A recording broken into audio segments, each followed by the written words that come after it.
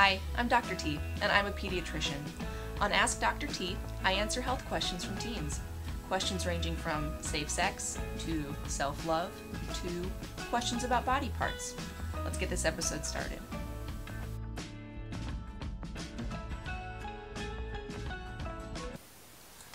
Hey, I'm doing a two part series on vaginal anatomy. So we'll do five questions now and then five questions later. Okay, so question number one Why won't my tampon go in my vagina? So that answer to that, it's tough to say for sure, but I would say there are maybe three main reasons why. So the first one is certainly the hymen. So we've talked about this before, but some people have a little bit more extra hymen tissue or have a piece of hymen that crosses the vaginal opening that can make tampon insertion difficult. So you could certainly take a look with a mirror and see if you can recognize if there's a piece of hymen going across the, the vaginal opening. You can also talk to a doctor about it.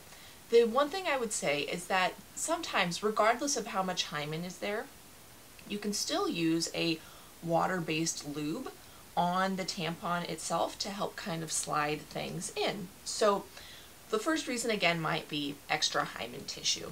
The second reason might be tight vaginal muscles in the vaginal wall. And think about whenever you get tense or nervous, your muscles can tighten up. The same thing happens in the vaginal area. So if you are nervous or getting um, anxious about inserting a tampon and you know it hasn't really worked well before, it's certainly possible that your vaginal muscles tense up. So the best thing you can do there is try to relax, get nice and comfortable, uh, and then make sure you're positioned well. So either put one leg up on the edge of a tub or on the bathroom on the toilet seat, um, or you can even lay down on your back with your knees bent and try to insert again toward your lower back.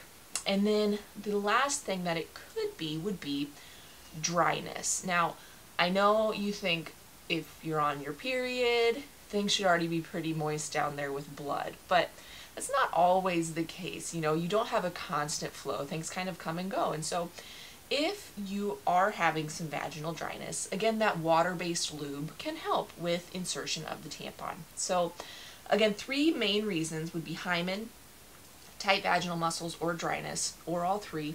But using a little lube and relaxing will kind of get you headed in the right direction and then if you still have concerns, you can chat with the doctor and they can take a look down there and see if there's anything else going on.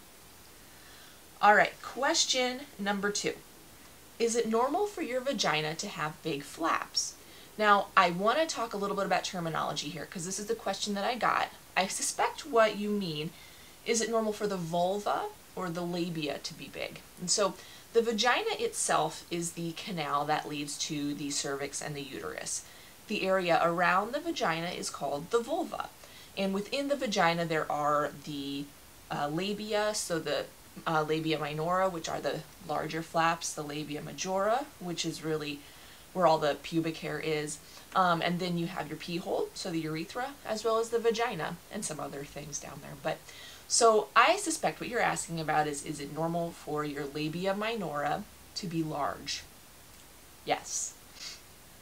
Labia come in all shapes and sizes. Sometimes one or both will be a little bit longer, and some people actually have very little labia minora at all.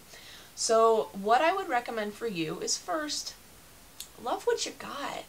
The second thing is though that if your labia are very long or if they interfere with things like uh, some of your clothes, if they catch on things, or if they rub and cause skin issues, then that would be a reason to talk to a doctor. Uh, there are a couple things that they can do to help, either with skin moisturizing recommendations, or there's a procedure called labiaplasty. It's usually reserved for older individuals, but your gynecologist, when you're older, can talk to you about that as well. Question number three. How do I get rid of razor bumps around my vaginal area? So the first tip, tip I would have is practice great shaving techniques so you have minimal razor burn anyway. That being said, some people are just more prone to razor burn. But my shaving tips would be, first of all, make sure you're using a sharp, fresh razor every time. Uh, two, using some sort of a soap or a lubricant between the skin and the razor. So, usually moisturizing in the shower while you shave. Three, go with the direction of hair growth. Don't go against it if you're meeting resistance with the razor.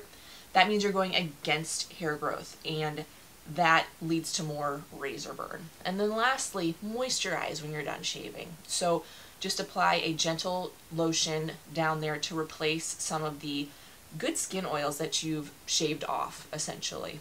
Now, again, some people are just more prone to razor burn, or sometimes it just happens. And so, one thing you can do is a low dose steroid cream down there. Something like a 1% hydrocortisone ointment or cream that you can buy at the drugstore. A lot of people are concerned about if you use it too much, you can get steroid withdrawal or thinning of the skin, but really that's with chronic long-term use. And what I'm talking about here, using it a couple times a day for a couple of days until things kind of clear up. It'll help with the redness and the itchiness, but it won't be necessary to use for long periods of time. Uh, one, it'll clear things up, but two, your, your hair will start to grow anyway, and so long-term steroid use really shouldn't be an issue down there. But that's how you can kind of help relieve your razor burn symptoms. All right, question number four. Is it normal to have buildup at the hood of the vagina? And again, I suspect that, was, this is more the hood of the vulva area. Could be around the vagina too. What I think you're talking about is smegma, which is a combination of dead skin cells and the natural oils that are produced in the private area. And this can happen for male anatomy as well as female anatomy. And it's totally normal. It's absolutely something that happens to all bodies. But the way that you can kind of help get rid of it, soap and water, don't scrub in the vagina, but you can scrub around the vulva area. And the soap is going to help kind of break up those oils. Oil can be notoriously difficult to remove. But smegma kind of gets stuck in those crevices and folds. Totally natural. Just do a good cleaning down there and you should be fine. Don't feel bad about it. Question number five. What color is your vagina supposed to be? Well, that depends on primarily your genetics. So again, if we're talking about the vulva region, so the area around the vagina, it can be darker than the surrounding skin and the rest of your body. It can be lighter than your skin on the rest of your body, and it can be the same color as the skin on the rest of your body. There are all sorts of variations. But the skin in the vagina, that is generally going to be more pink, like the inside of your mouth, uh, because they're what's called mucosa. So uh, most of our mucosa in our bodies is going to be pinkish because of the blood flow. So Usually vaginas are going to be more pink in color, but then the surrounding area, the vulva, can be all sorts of shades. And it's usually based on genetics. Sometimes if you shave a lot and have like some scarring down there, the skin can get a little bit darker, but otherwise it's usually what you're born with. And that's okay. Alright, so this is part one of a two-part series on vaginal anatomy questions. And remember, if you have a question for Ask Dr. T, you can either respond in this video or submit through my website, askdoctort.net.